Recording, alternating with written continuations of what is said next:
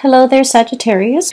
And unfortunately, I always have to start with Capricorns, and that just, you know, automatically puts you last. So I, am really, really sorry. Um, I was traveling the past few weeks, and um, I got really sick on the plane, and so I was not, you know, in, in the physical, mental frame of um, space to, to be doing these readings and I did try to record the readings multiple times, and um, I, not for you guys, but for all the other signs. But I could not, just in my state of being, um, to to get like in which they behaved for the the the, the nature of that person. Uh, rationalizing, oh, maybe they're like this because of these things that happened in their past. Maybe they're like that because you know they don't know any better. Like um, you guys are quite benevolent, and I feel like you give people the benefit of the doubt. And then I also feel like there was a situation where you were hoping that things are not so. And so you try to rationalize or to try to justify why things went the way they did or why things happened a certain way, why somebody would be this way, why, just why, you know, like making sense of it in your own head, rationalizing so that it makes sense in your head. And so we're done with that, okay? And um, moving into 2020. 2020 is a very solid and stable year, and I like to think of this, you know, it reduces to a number four um, for the energetic um, flow of the year. As a number four, I like to think of it as a table. There's like four legs to a table, right? And when all the legs are the same, um, the same width, the same height, the table is not wobbly. Okay, and a wobbly table, if you're trying to do work on it, if you're trying to eat on it, it can be really annoying because it makes noise. It wobbles back and forth, and it can feel very destabilizing. And so, four legs to a table, if all the legs are of the same length, the table is very sturdy.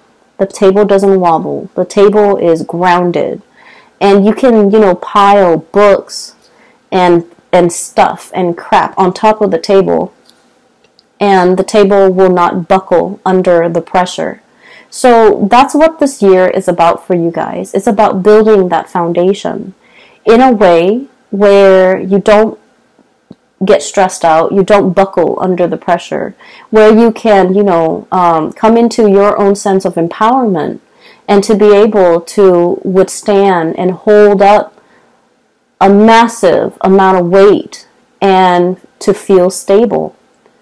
Okay, and I am seeing just now uh, an image of you know the god Atlas.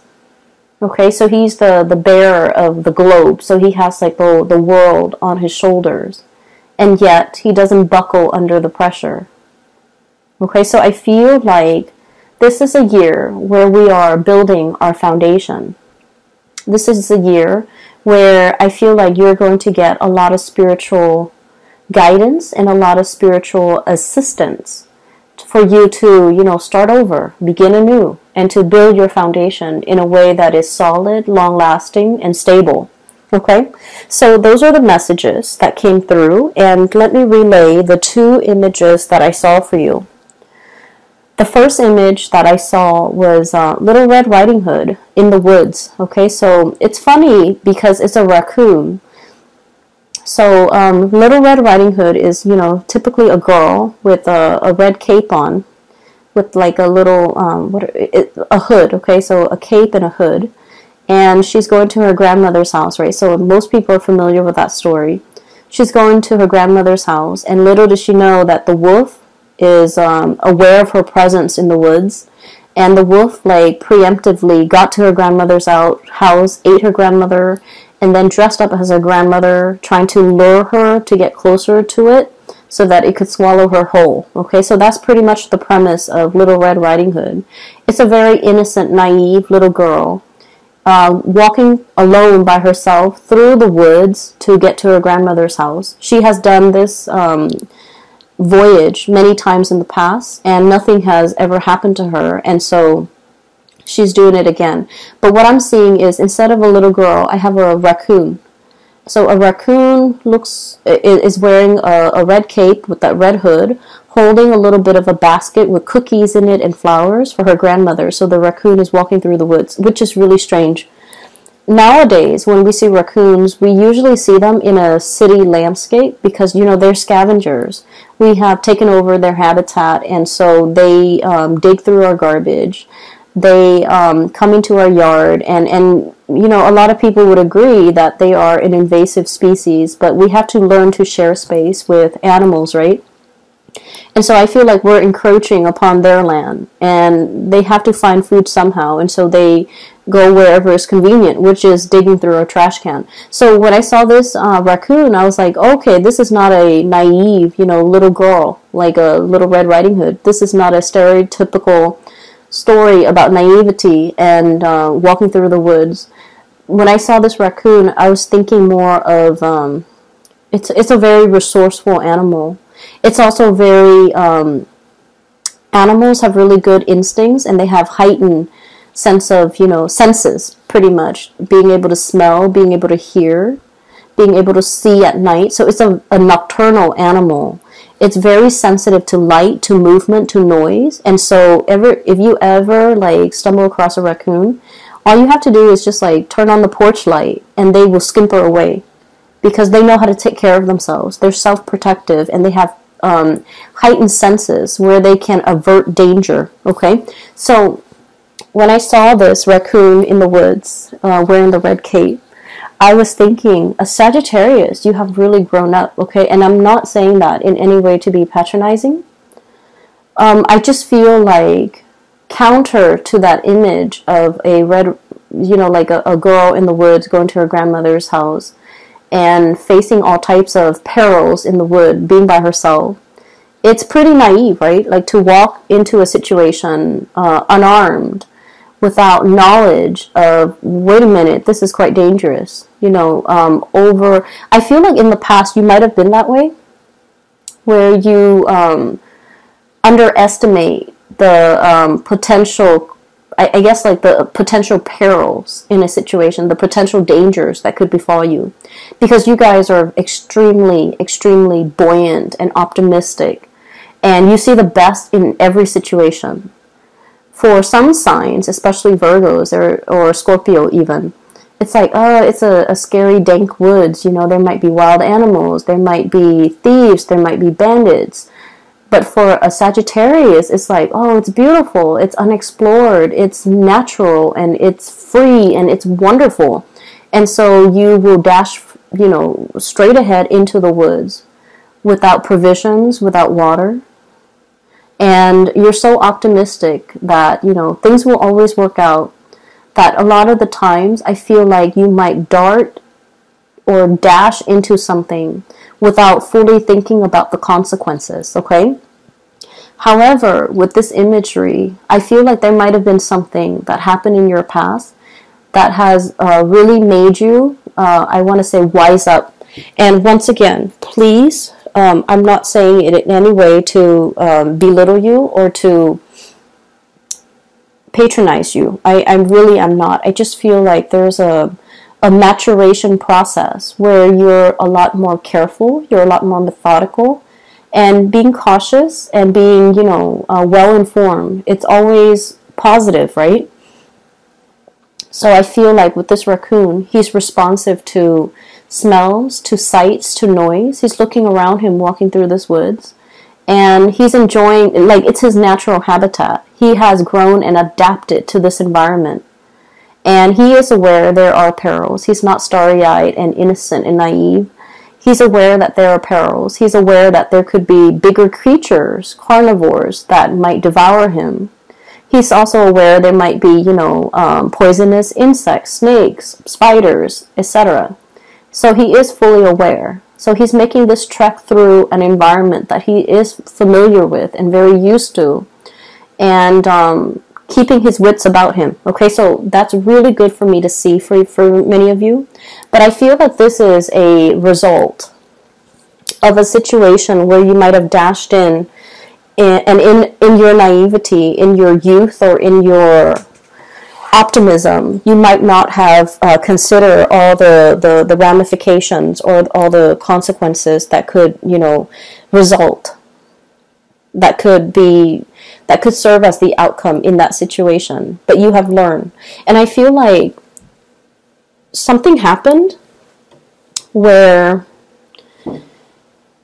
I'm sensing I'm sensing that you could not make sense of it. That's what it feels like to me. I, I feel like something happened that, that really hurt you. I'm sorry, Sagittarius. I feel that it, it really hurt you. And I feel that even though it really hurt you, you still can't make sense of it. And I feel like you might have been dealing with another person that really hurt you. And you don't know, and I'm really sorry, it's you don't know if what they did was intentional. That's what it seems like to me. You don't know if they do this to you specifically just to hurt you, or if they do this to everybody because you know there there's something cognitively or just emotionally wrong with that person where they're not aware of their actions and consequences or they're not aware of it it's it's almost like you were taking it very personally this person hurt me but now you're starting to see the big picture and you're like wait a minute this person you know would do this to anybody to everybody in their lives and so it's not just about me I shouldn't take this personally. And so the, the, the moment that you start to see that, that light bulb moment happens for you and you're able to make sense of it. Okay. So what I saw was this. We have here the Ten of Swords. And the Ten of Swords is like backstabbing, betrayal, right? It's a situation where someone says a lot of hurtful things to us. Okay, the sword, this is the Ten of Feathers, Ten of Swords. The feathers represent the sword energy, thoughts, communication, words, things blurted out without consideration, things that are said that have been very hurtful, and especially somebody doing something to us uh, in a sneaky way because snakes are, you know, the symbol of temptation, the symbol of um, somebody that is twisted and jealous and, and people that we can't trust. But I feel like, you know, however this has played out in your life, I feel as if the way you have looked at this situation with the temperance card, you have been very patient in dealing with this person. You have been very patient in trying to understand, like, why are they behaving like this? Are they really aware of their actions? Are they really aware of what they're saying? Are they really aware of how much they've hurt me? And I feel like you were fumbling around in the dark trying to make sense of this situation with this person. Queen of Swords, okay? The Queen of Swords is about rationality, it's about cutting through the fog and the illusions and the the lies we tell ourselves in order to make sense of things, in order to kind of get at the truth. And when I look at this card, it's a bat in a cave, right? And bats are also nocturnal animals. In this cave, presumably, it's very, very dark. It's very humid, possibly. It's very dank. It's it's not a good place for a Sagittarius person to be in. And this is where I felt like you were residing. And first of all, you can't see. You know, it's dark, it's dank. It probably smells really musty it probably feels very humid and potentially hot or even really cold. And you can't feel your way around. You don't know what's around the corner. You don't know what's in the cave. You don't know what's out to get you. It's an environment where I feel like no one wants to be in, but more so for a Sagittarius to not be able to see, to have the, the, the open space it, it, it can feel very claustrophobic and hard to breathe and uncomfortable in this situation where you were dealing with this person. For some of you, this is like a physical dwelling, like a house, where you're not comfortable in it for whatever reason. There might have been water damage, there might have been mold uh, built up over the years. There might also be like, you know, pesky neighbors invasive neighbors, nosy neighbors. There might have also been um, like like a lot of restriction. You don't have your own space. there's not enough lighting, all the electrical circuits might be malfunctioning, you don't have enough visibility. And so, if it's a home environment where you feel this way or a relationship situation, it feels very trapped, like stagnancy, trapped, and unstable, and just, you know, uncomfortable. It feels very uncomfortable to me. And you were stuck in it for a very long time. The hangman. This is suspended animation. Limbo not able to make sense of things because bats are blind. And as a result of not being able to make sense of things, you're not able to make decisions. You're not able to be decisive. And so you were stuck in this space, okay? And so what I feel happened that happened here is um, the one thing that helped you overcome and get out of this space here is for you to look at a situation either through a different lens, a different perspective, flipping a situation around so we're seeing it from a different point of view. And the hangman is all about that.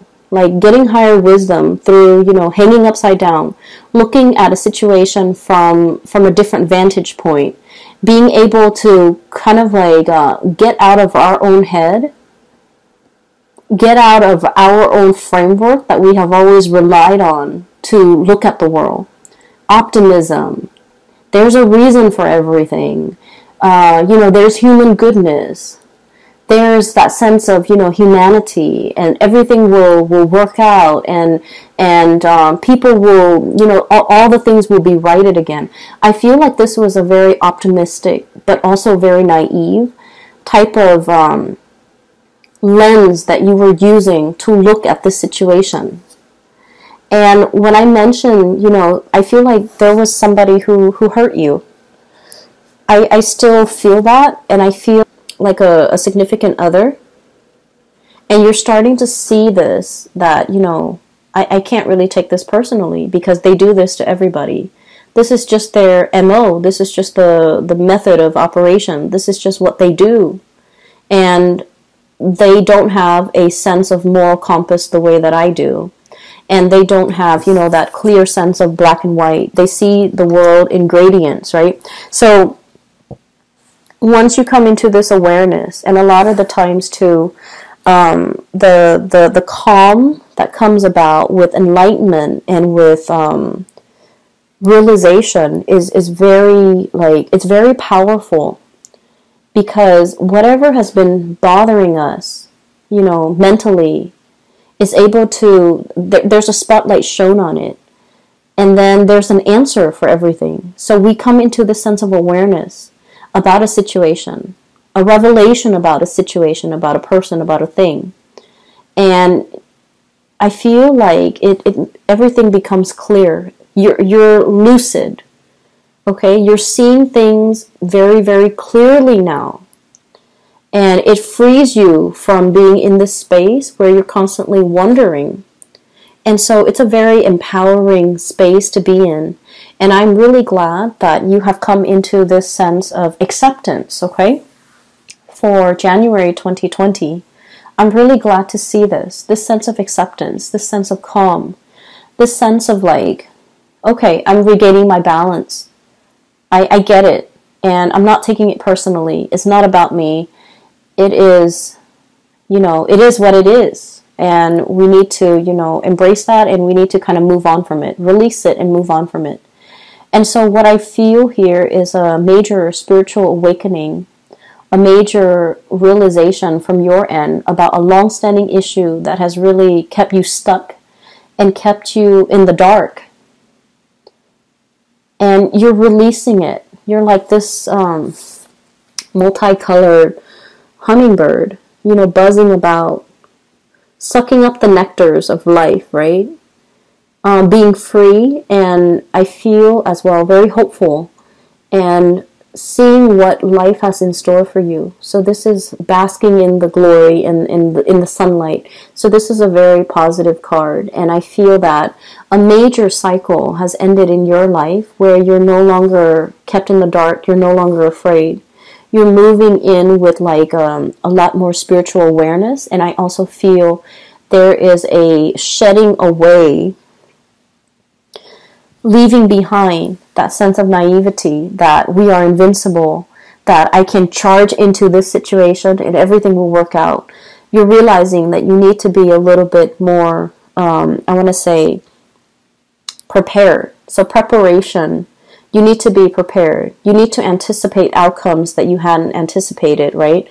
And I know that sounds like how can you anticipate something that you that that is not that you're not aware of but I feel like it's you know about being smart. It's about being a little bit more thorough when we talk about outcomes and when we talk about um, consequences.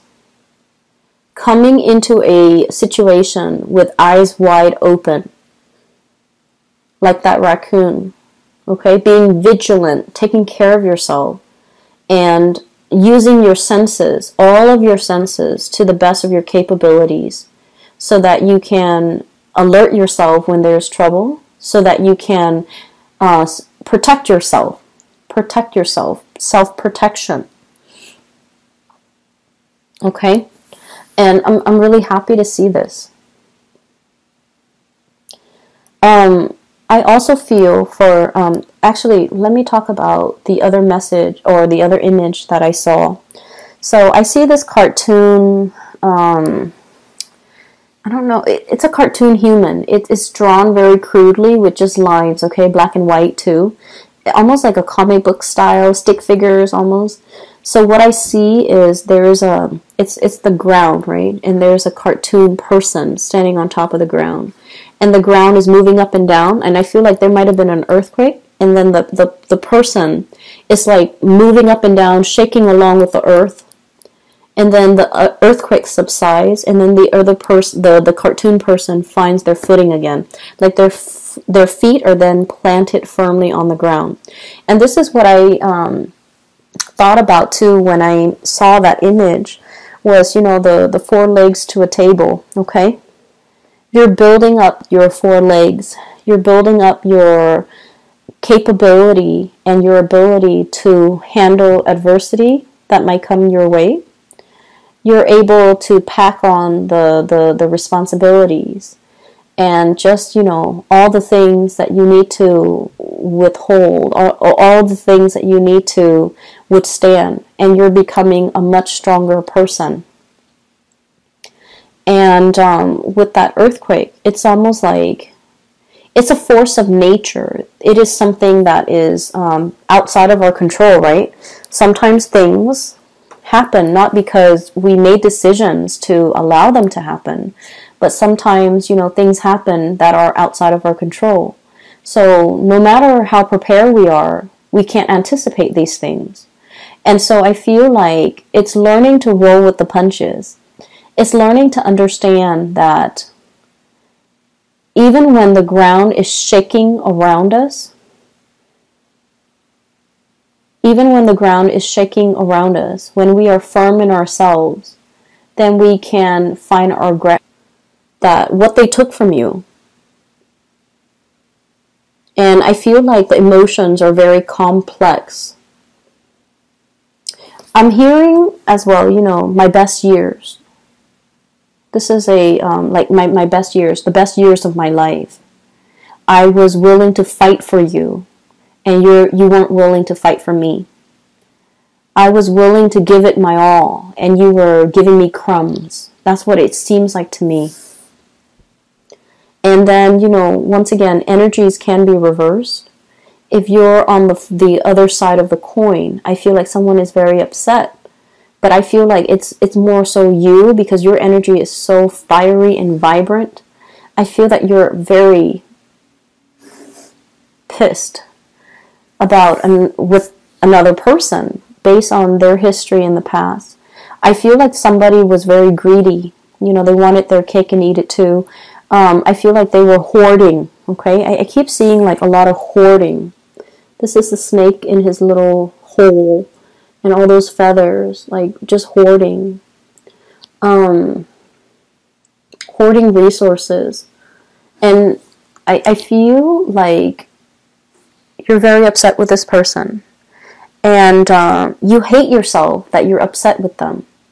Because I feel like you guys are very fair. And you guys don't like to, you know, the, the negative emotions don't bode well with a Sagittarius.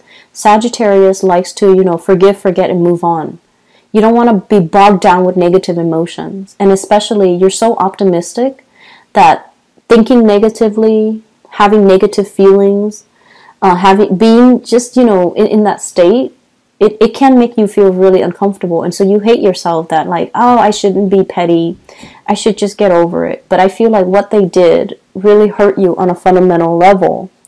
And it, it was such a, a really uh, like it's such a visceral reaction that you have to this person. It's really hard to forget. And we have as well crowning this reading is willpower creation. This is the magician okay and with that infinity symbol, I'm inclined to say, you know, that is like higher knowledge, higher wisdom. You are here. And I feel that you're conflicted as well because, you know, uh, you understand that our baser selves, our human manifestations, sometimes we don't make the best decision. And so you're ready to forgive this person And then I also feel like, you know, you're trying to operate from this space of higher wisdom, wanting to forgive and understanding that our human selves make mistakes, but our higher selves should forgive and forget. Okay? And then I also sense as well, I'm not explaining this well. Uh, give me just a moment. Let me get this message. You want to, for, it, it's like you're forgiving this person on a spiritual level but on a human level, in this realm, in this earth, it is really difficult to for, forget or forgive this person. You're trying to operate from here, which is really loving of you. You don't want to hold grudges. You don't want to wish them the, the, the worst, you know, because you're very exalted and you you understand why they are the way that they are. You're not taking this personally. You understand that there might be something innately wrong with this person that is crippling their ability to love and their ability to, to do the right thing. Okay? And so I do see an inner conflict playing out, but I do feel at the end of the day, you're looking at your higher power and um, you're you're operating from your higher self and you're looking to forgive this person. And so I want to conclude this reading here. I do sense there is going to be a renewal, okay? You're no longer going back. There isn't a, a reconciliation. But I do sense there is um, regret coming through from the other person, believe it or not there is regret. Okay? Um, for many of you, you might have like said, you know, you might have tried to manifest an apology. They owe me an apology. I want to make sure that they understand that, you know, what they did was not acceptable. I want them to understand that this is not acceptable behavior because not only did they hurt me, they're capable of hurting so many more people if they continue down this path, right? So you're really looking you're, really looking to save them from human or save humanity from this person. And you're really looking to, you know, you wish and pray that this person would change for the better, not to come back to you, but for the better, for the betterment of the world, for, for, for themselves, for their sake, because you still care about that person. And so you might have manifest try to manifest like a an apology from that person. And it is coming okay? The, the way their energy is right here ace of wands ace of acorns ace of wands. This is a really beautiful card.